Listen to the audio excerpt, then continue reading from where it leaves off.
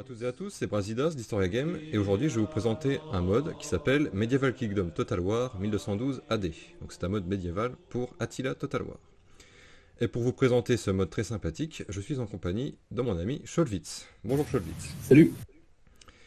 Donc euh, je vais vous présenter les différentes factions de ce mode, donc qui pour l'instant est en anglais, mais bon c'est pas grave, c'est pas de l'anglais euh, très, très recherché on va dire. Et euh, donc, alors, les différentes factions. On a le sultanat ayoubide, on a l'Arménie, on a l'Aragon, et on a aussi des duchés qui ont été ajoutés par le nouveau patch qui date euh, d'août. Donc, on a le duché d'Autriche, de Bavière, de Brabant qui ont été ajoutés, le duché de Bourgogne, et ensuite on a encore d'autres euh, duchés, le duché de Pologne, Poméranie, Saxon, etc. etc. En, faction, en grande faction, on a le Saint-Empire romain germanique aussi qui a été ajouté. Bon, on a la France, évidemment, on a les Anglais, malheureusement. On a le royaume de Géorgie, on a la Hongrie, on a le royaume de Jérusalem, euh, l'Empire latin, donc c'est l'Empire byzantin. On a aussi les Suisses et les chevaliers teutoniques. Donc alors, au niveau des, euh, unités, on en, a, on en pas mal concernant les, factions d'Europe de l'Ouest. Elles ont été plus travaillées que, que les factions orientales, on va dire. Donc par comparaison, on peut voir qu'il y a énormément euh, d'unités pour la France. Et quand je vais sur le sultanat ayoubide, eh bien on n'a plus grand chose. Voilà. Donc je vais faire vite fait la présentation pour le sultanat. Donc on a bien sûr euh, le sultan en général, avec ses mêmes looks. En, infanterie, donc euh, on n'a pas grand chose, on a juste 4 unités, elles ont l'air d'être assez légères et de ne pas être euh, énormément protégées. On a de l'infanterie de mêlée bien sûr, des archers, voilà, quelques petits archers. on a une seule unité d'arbalétrier, la cavalerie de mêlée, justement 3. Cavalerie de choc, on n'a rien du tout, on a juste une unité, alors qu'avec les Français, on a, au moins une dizaine. Des archers de cavalerie, et ça, on a des lanceurs de naft. Donc il faut savoir que le naft, c'est un peu comme le feu grégeois. Donc on avait fait une vidéo euh, sur Historia Games il y a quelques temps déjà, si vous voulez voir. Et donc c'est l'espèce de... Hum, comment dire des Quand on lance, c'était un espèce de, de, pot qui se brisait, qui balançait des sortes de flammes. Donc un peu des grenades à l'ancienne. Et en nous avons un parc d'artillerie. Voilà. Mais l'artillerie, elle est commune à toutes les... Enfin, quasiment commune à toutes les, toutes les factions. Donc je reviens sur la France, car je vais prendre la France. Euh, au niveau des généraux, on a bien sûr des, des, comtes, des personnages connus. Donc le duc de Bar, le comte de Boulogne, le, duc de Bretagne, euh, et puis bien sûr le roi de France, Philippe II Auguste, que je vais prendre de ce pas. Euh, en infanterie, a des, ça va du paysan euh, jusqu'au euh, lancier avec des pavois. Je vais prendre deux pavois. Et puis un paysan pour vous montrer ce que ça vaut au combat. ensuite, on a des, piquets. Donc ça va du, du vougier à l'albardier. Et ça, c'est vraiment très efficace. Notamment les carrés de, les carrés de piquet sont très efficaces contre la cavalerie. Ensuite, on a de l'infanterie de mêlée. Donc, ce qui est bien pour l'infanterie de mêlée, c'est qu'on voit les différents blasons des différentes provinces que constituait le, royaume de France à cette époque. Donc, on a bien sûr le duc de Bar, le duc de Bretagne, de Boulogne, euh, aussi des hommes du duché de Normandie, etc. etc. moi, je vais prendre des hommes d'armes parce qu'ils sont vraiment très forts. Euh, des hommes du euh, duché de Bretagne, voilà, ce que j'aime bien, et aussi du comte d'Anjou.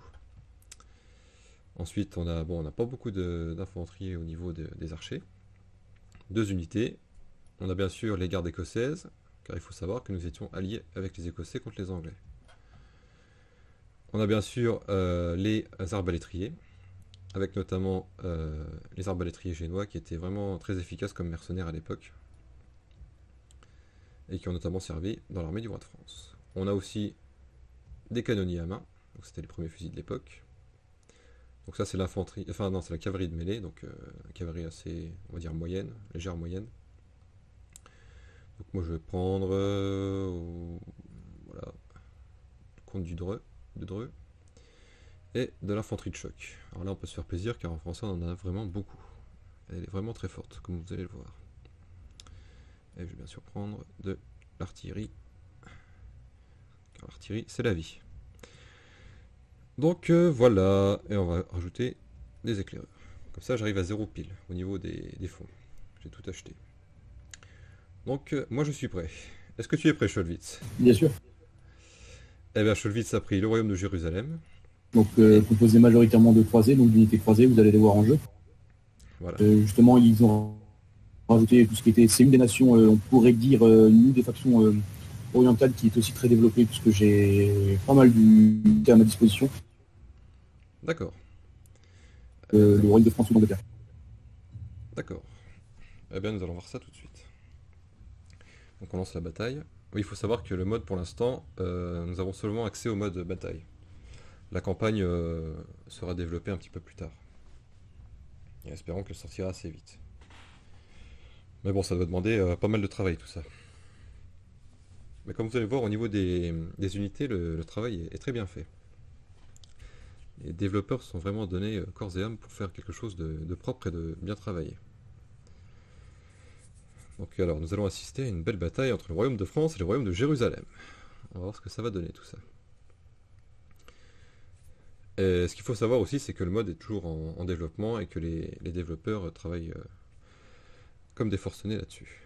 Mais bon, vu le résultat qu'on a déjà actuellement, on, ne peut que espérer avoir euh, une excellente, un excellent mode terminé d'ici quelques, mois, voire la prochaine, euh, d'ici l'année prochaine. Parce que déjà le travail accompli, vous allez voir dans la vidéo, c'est déjà assez impressionnant le niveau de détail des unités, et puis surtout bah, le fait d'avoir réalisé autant de fonctions.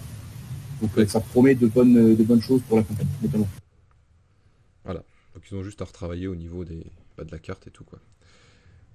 Et puis notamment, bah, bon, certaines unités, peut-être encore développer les royaumes orientaux, parce que c'est vrai que ça risque de ne pas être très, très intéressant de, les jouer si on est limité à des unités d'infanterie légère ou, tout simplement très peu d'unités quand on voit le nombre d'unités qu'ont les, les, royaumes de France ou les royaumes occidentaux. Euh. Oui, c'est sûr. Après, c'est peut-être dû à des sources euh, manuscrites et archéologiques qui ne sont pas euh, aussi développées qu'en Europe de l'Ouest aussi. oui, c'est possible. En tout cas, pour l'instant, ça déjà les batailles, ça donne déjà un, un, très bon aperçu de, de ça, et ça peut donner un bon mode. Oh oui. Donc ce qui est bien, c'est que mon armée est déjà pas mal bien placée, donc on va juste mettre les euh, archers en première ligne. Parce que je suis comme ça. là, ils sont à l'envers. Donc je vais les remettre à l'endroit. La cavalerie sur les côtés, c'est important. Le roi de France sur le côté. Voilà. Je pour pouvoir lancer. Donc on va se rapprocher un peu des unités pour voir un peu le, travail qui a été accompli. Donc là, on peut voir les canonniers à main avec leurs petits, leurs fusils. Ils sont déjà bien, bien harnachés au niveau de l'armure. Là, euh, nous avons les archers écossais qui ont bien servi le royaume de France. Là, nous avons les albardiers avec la fleur de lys, comme vous pouvez le voir. Ils sont prêts à en découdre. Là, c'est l'infanterie à pied. Donc ça, il me semble que c'est le, comte d'Anjou. Voilà. Avec ses magnifiques écussons. Ah bah voilà nos paysans. Voilà. Ils sont comme à l'époque, avec leurs fourches, leurs faux. bon, ils vont sûrement se faire massacrer, les pauvres. Et là, les lanciers. Bon, au niveau de la cavalerie, hop, ça, c'est les sergents montés. on peut voir qu'au niveau de... Bon, l'armure, c'est pas ça. Ils ont juste un gambison, donc c'est un vêtement rembourré. Une petite lance. Ils ont même pas de bouclier, en plus. Aïe, aïe. À côté, on a les... on a les gendarmes. Alors, ça, c'est les armures euh, qui datent de la Renaissance. Qui sont solidement, euh, protégées.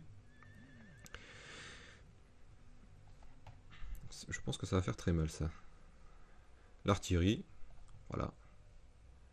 Il faut savoir que le Royaume de France avait un parc d'artillerie assez développé, qui a été mis en place durant la guerre de 100 ans et qui a, euh, qui a prouvé son efficacité.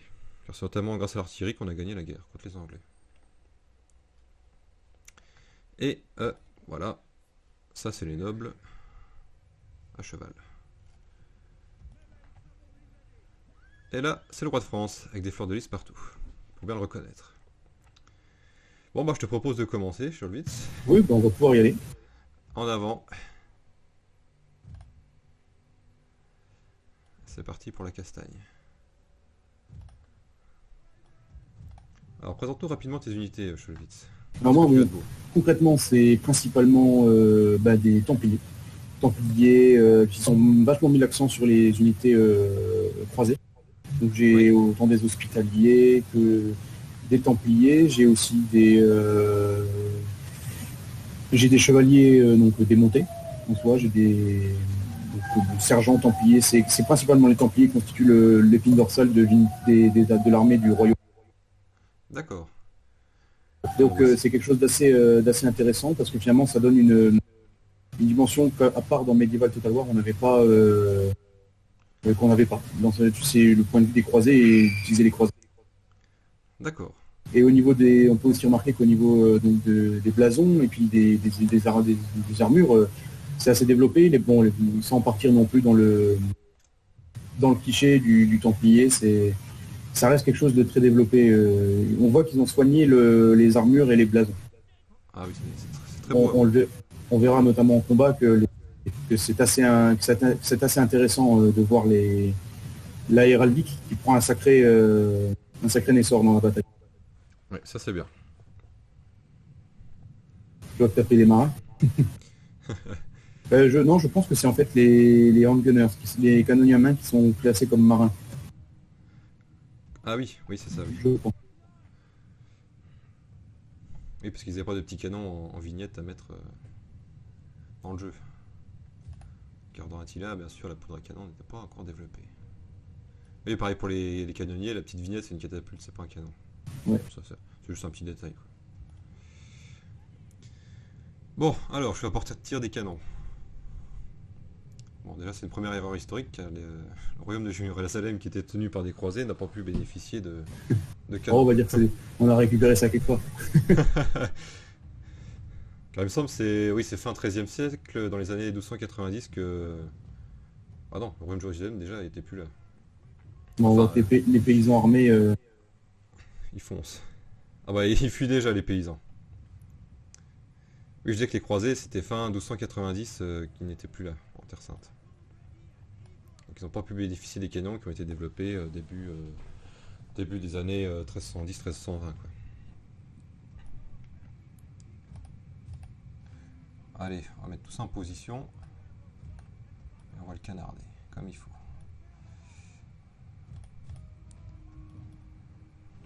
Et on va faire courir nos hommes. Voilà, ils se font complètement matraquer par, par les canons, ça fait très mal. Bon, vous inquiétez pas, on va faire charger la cavalerie après. Vous aurez le droit à une charge épique contre chevalier français et templier. c'est un peu bizarre, mais bon. Il va avoir du spectacle.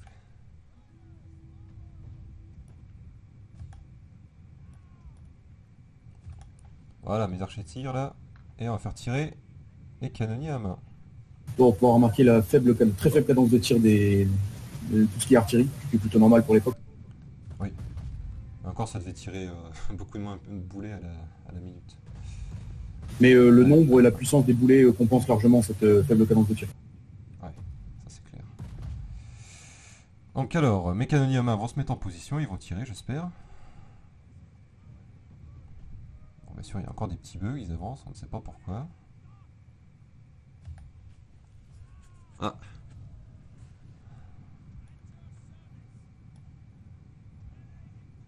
L'infanterie va arriver sur les piquets, on va les défoncer. Bon, je comprends pas pourquoi, mais mes canonniers à main ne veulent pas tirer. Bon, toi, t'en as pas en plus. Non, moi j'en ai pas. Bon.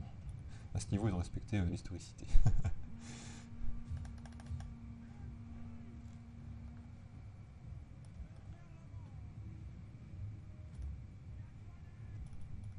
voilà, je me fais complètement... Euh,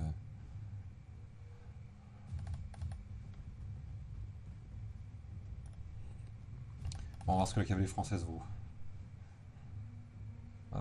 bon, les paysans ah. sont revenus une deuxième fois, mais bon. Ouais, ça va pas durer. Ah bah voilà, ils sont en train de tirer là. Bon bah voilà, bien sûr, je mets la caméra dessus, ils tirent plus. bon, c'est pas grave. On va voir ce que fait notre cavalerie. Notre cavalerie est en train de charger. Ou pas. Bon, bien sûr, il y a encore quelques petits bugs. Hein.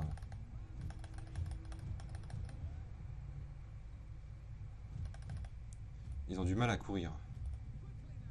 Enfin, charger plutôt. Voilà, ils chargent, enfin. On va faire charger les gendarmes et les, les sergents.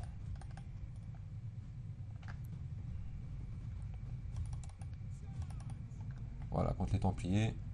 ce que, nous, ce que vaut les nobles français? Allez, boum. Voilà, on peut voir aussi le détail des armures, c'est magnifique. Oui, on voit le détail, euh, notamment, euh, bah, moi je regarde chez les unités euh, du Royaume de Jérusalem, c'est vrai qu'il y a eu un soin vraiment, comme je disais tout à l'heure, autant au niveau de la, des blasons, de la héraldique que, du, des, armures des unités. Quoi. En plus, on peut voir la petite touche orientale des, croisés avec des petits... Exactement, avec le petit turban. Voilà. C'est pour ça, je trouve ça vraiment assez intéressant comme jeu, enfin comme mode, ils ont vraiment bien développé ça. Alors bon, par contre, on peut peut-être déplorer le manque de formation. Les formations pour les unités euh, sont tout simplement inexistantes. Je suppose que c'est bugué puisque je ne peux pas le sélectionner. Voilà, ça, ira, ça arrivera après, je pense. On a toujours les petits pouvoirs, euh, on a les carrés, euh, les murs de, bouclier, et puis les, des petites formations en triangle, quoi. Mais ça va pas plus loin. Mais c'est vrai que c'est assez intéressant de voir justement dans le combat toutes ces, toutes héraldiques, les blasons utilisés, ça donne une dimension vraiment bah, réaliste en fait. je crois que c'est le mot. Bon, il y a le roi de France qui est en attente là. Tiens, on va essayer de voir le roi de France en vrai. Alors où est-il? Alors ils n'ont pas mis une couronne, il est où? Non, moi je le vois pas. Bon, si vous le voyez sur la vidéo, c'est vrai que faites-moi signe. Mais non, je le vois pas. Peut-être lui avec. Euh, ah bah oui, c'est peut-être lui. Moi actuellement en général j'ai le roi de Jérusalem et de Chypre où on le voit ah. magnifiquement euh, décoré, avec notamment des fleurs de lys. Ah, tu as pris quel roi, tu sais? Euh, C'est le nom tel quel, c'est roi de Jérusalem et de Chypre. Donc on n'a pas de, on a hélas pas de description. Attends, je vais peut-être le reconnaître. Est-ce qu'il avait pas un turban dans les vignettes? Donc déjà caché. Donc euh, à remarquer l'effet toujours aussi efficace ah de l'artillerie qui fait débander les troupes assez rapidement. Ouais, les miennes en, l'occurrence. Ce qui reste. Euh, oh, les miennes aussi. Euh, la cavalerie qui se neutralise presque mutuellement, j'ai envie de dire. Ah, les Templiers sont très forts quand même hein, pour leur époque. Ouais. Bien sûr, les gendarmes sont vraiment très forts. Là, j'ai juste un, homme qui est mort. Les nobles français aussi. Non, non, bah ma cavalerie est supérieure à la tienne. ce qui est normal, parce que la, la, mienne est un peu plus tardive. On voit bien au niveau des armures qui sont beaucoup plus... Euh, qui possèdent des armures beaucoup plus lourdes quoi. Alors que les Templiers c'est un peu plus léger quoi. Ils ont juste une cote de maille et un casque. que nous, nous avons des cuirasses. Bon, mes archers, je pense qu'il faut plus trop compter dessus. Alors. Euh, ah, le roi de France est en difficulté. Oui. je pense qu'on va le perdre. Et bah voilà, c'est fait. bon, ce qui est embêtant, c'est que les, canonniers à main sont buggés. Bon, c'est un petit bug aussi qui arrivait dans, dans Total War Attila, c'est qu'on a du mal à faire tirer les archers. C'est vrai que parfois c'est assez... Euh, c'est vraiment très embêtant. C'est assez obscur en fait comme mode de fonctionnement, je comprends pas bien. Moi non plus. Peut-être qu'il y a des obstacles et tout, ou on sait pas jouer, mais... oui, c'est ça, c'est... Mais non, mais franchement, euh, un peu de mal quoi. Alors, on peut remarquer aussi l'efficacité des pavoisiers, enfin pavisiers, du coup. Vraiment des unités excellentes. Pareil, les, ben, les, albardiers qui tiennent contre trois unités. C'est vraiment très bon. Voilà, on a un petit tir avec de la fumée. Bon, moi j'ai écrasé la cavalerie templière. Exactement. Voilà, j'ai quasiment pas de perte chez moi. C'est fou. Remarquez que ma cavalerie de, mêlée est euh, euh, extrêmement vulnérable face aux mercenaires euh, génois, aux arbalétriers génois qui sont. J'ai une, ah petite indication rouge sur eux. Donc à ne surtout pas attaquer. Donc c'est bien, oui, bah, c'est que les arbalètes perçaient les armures des, chevaliers. Exactement, mais même encore à corps, j'ai l'impression qu'ils disent que je ne suis pas, pas en état. ça c'est pas normal ça par contre. Bon après ça arrive que là. C'est pas normal du tout. Non en effet, les gendarmes totalement euh, c'est- c'est très puissant.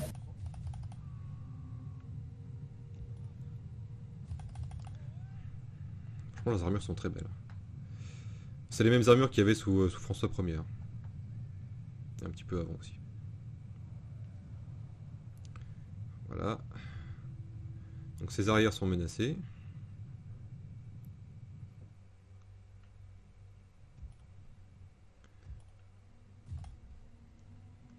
C'est plutôt pas mal. On va faire, faire attention. C'est piqué.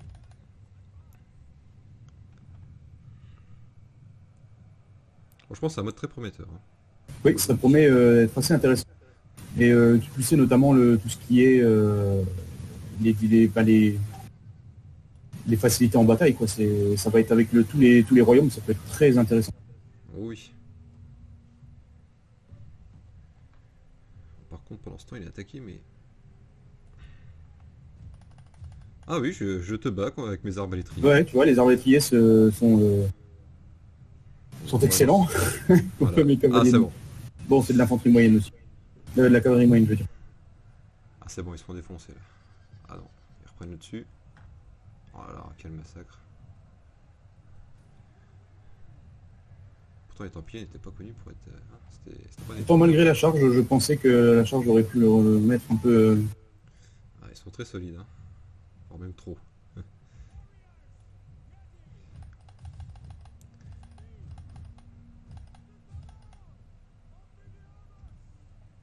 Par contre, j'ai du mal à, à tuer tes, tes servants de catapulte. Hein. Oui, oui, c'est une résistance assez hors du commun. Ta cavalerie qui, euh, ton infanterie qui est en train de se faire hacher menu par les arbalétriers. Ah, mince. Ah bah voilà des tirs, enfin Regarde-moi cette beauté. Donc, on va mettre à terre la chevalerie templière, là. Voilà. Ils sont en train de se débander.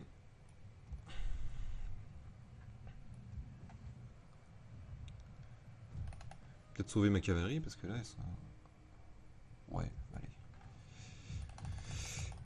allez. Repli les gars. Oui, par contre, Par aussi, contre- quand on- On peut remarquer la, hum, l'énorme réserve de munitions des, euh, des- de l'artillerie.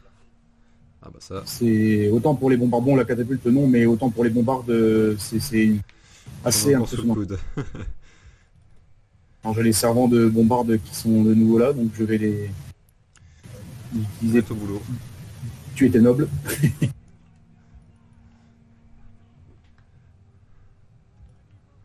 bon, les pavisiers qui sont euh, juste excellents. Autant au niveau de la résistance, euh, là je leur tire dessus avec les arbalétriers avec des carreaux euh, perforants. je, je suis sûr que ça ricoche. Ah oui, ils ont des sacrés boucliers. Ouais, ils prennent tous les chocs. Eh ben, on va Ça- changer.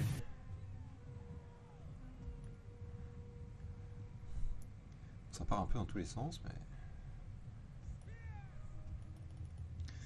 Est-ce que mon artillerie tire encore Les archers y tirent. Allez, faites-moi tirer tout ça. Pour gagner la bataille. Bon, j'ai réussi à sauver euh, des nobles euh, à cheval.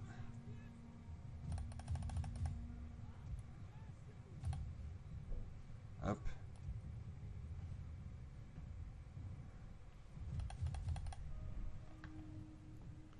Voilà, génie en.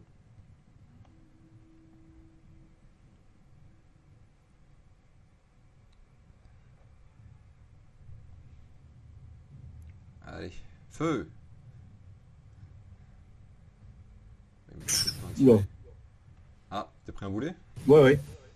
Ah oui, t'es encore ton général, toi. Oui.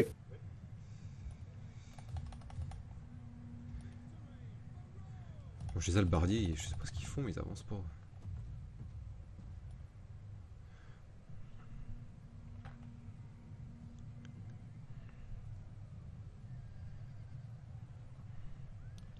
Allez les gars, on y va.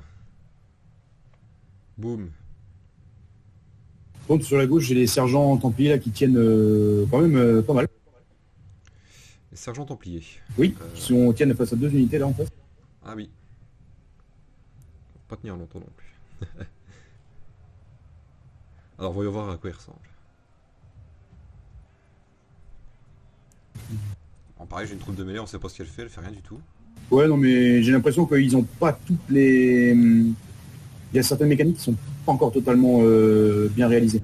Bien huilé, oui. Bon, après, ça, franchement, vu l'efficacité du mode, euh, je suis quand même pas mécontent. Oui, oui. Pour ces petits défauts euh, faciles à corriger. Euh, remarquez l'impressionnant nombre de dégâts des. l'impressionnant nombre de tués des bombards. Autant chez toi que chez moi. Oh oui. On va voir ça sur le score après, mais ça va être assez élevé, je pense. Le dernier carré.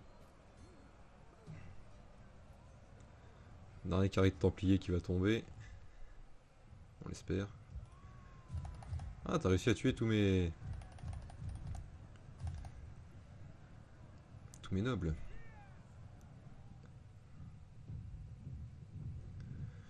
Voilà, j'ai mes halbardiers, j'aurais demandé de courir, il ne court pas. C'est bien dommage. Toi il me servirait bien. Ah, allez, enfin il court. Ça, s'il met 10 ans à arriver, on n'est pas sorti de l'auberge.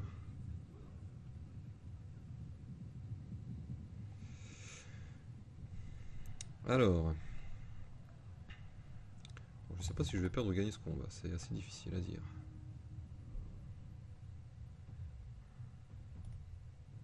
Ah, voit mes nobles qui sont en train de fuir, comme des lâches. C'est plus que c'était la noblesse. Ah oui. En même temps, le roi est mort, donc euh, c'est pas terrible. L'efficacité des, des canonniers à main contre le moral. Ouais. Là, on va voir leur Oh. efficacité au corps à corps. Quand ils veulent bien tirer, oui. enfin. Bon, mes halbardiers sont arrivés. Tout le monde se barre.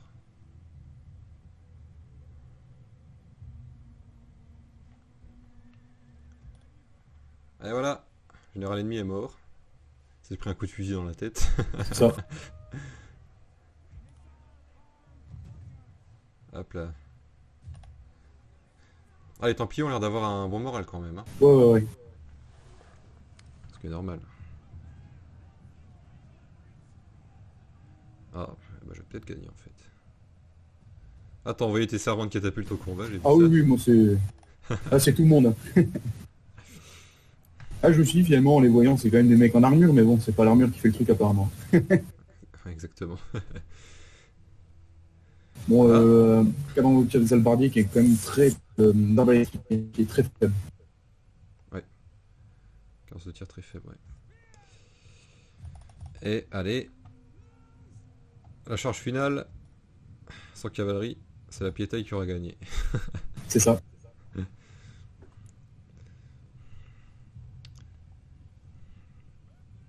Bon, en même temps, le combat était pas trop équilibré car les... bon, le royaume de Jérusalem a des unités qui sont plus anciennes que les biennes. Moi, j'ai des unités plus tardives. Qui datent de, de la Renaissance et fin Moyen-Âge, quoi. Ouais, ouais, ouais, ça y est. De Ouais. boulet, c'était fini. Ah, voilà. Un boulet dans la tronche et voilà. Quand même des fêtes honorables. Oh oui, tout à fait. Donc, au niveau des pertes, on était quand même pas mal. Les, les pertes de l'artillerie, moins, faut remarquer les tirs d'artillerie qui ont fait énormément de dégâts. Oh oui, 259 pour moi. Pareil, mes, mes hommes d'armes aussi. 291. Oui, c'est ouais, assez correct comme unité, ça, du coup. Bon, les Bretons ont pas fait grand chose. Hein. Ils, se- Ils se sont fait allumer assez rapidement, j'ai l'impression. ils ont chargé, ils se sont fait défoncer, quoi. C'est ça. Et, et puis voilà, quoi. Et voilà. Les paysans Non, n'ont rien c'est- fait. C'est bah, bah ça, et de toute façon, ils sont partis deux fois, mais bon. Bon, ils ont essayé. Voilà. Donc euh, voilà, j'espère que cette euh, vidéo vous a plu. Donc euh, n'hésitez pas à mettre un petit j'aime, à partager, et puis euh, allez sur notre site. Donc on se retrouve pour une prochaine vidéo. Allez, salut